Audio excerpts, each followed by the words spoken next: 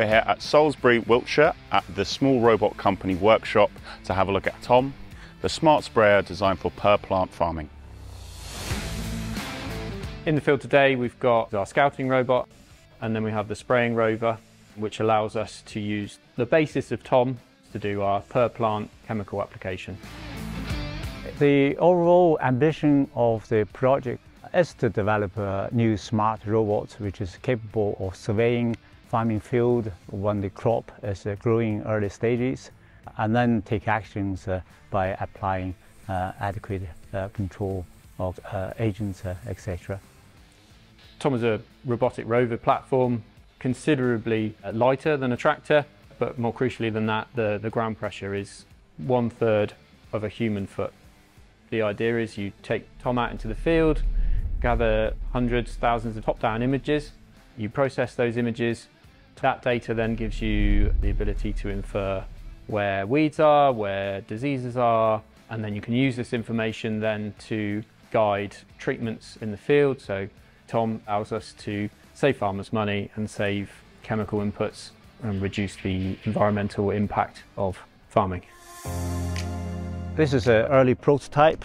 The whole system essentially consists of two big elements. One is the robotic rover uh, platform, the wheels and then platforms, uh, uh, etc.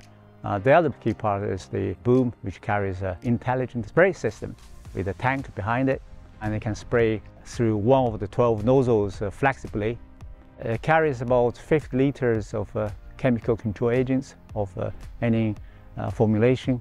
Um, we would probably look to expand that over time. So at the moment, sprays are applied in a sort of a, a blanket approach. That tends to uh, generate uh, potential chemical uh, or environmental issues. Uh, you, you, also waste lots of uh, chemical.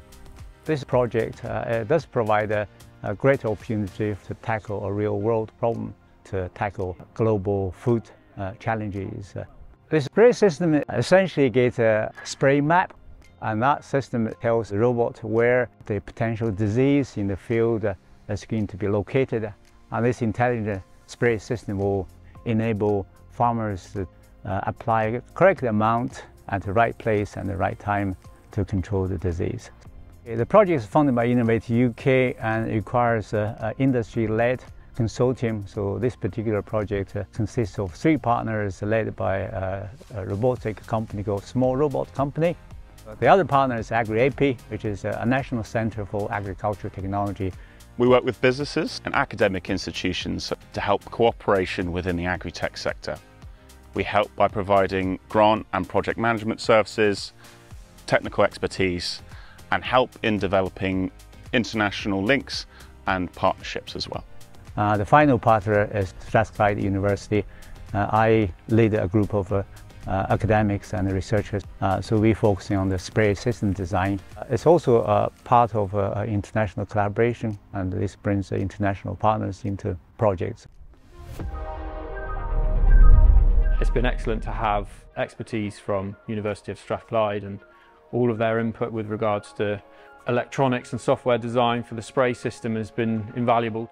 Working with Agri-EPI has been, been excellent as well because we've had the support of them throughout the whole process.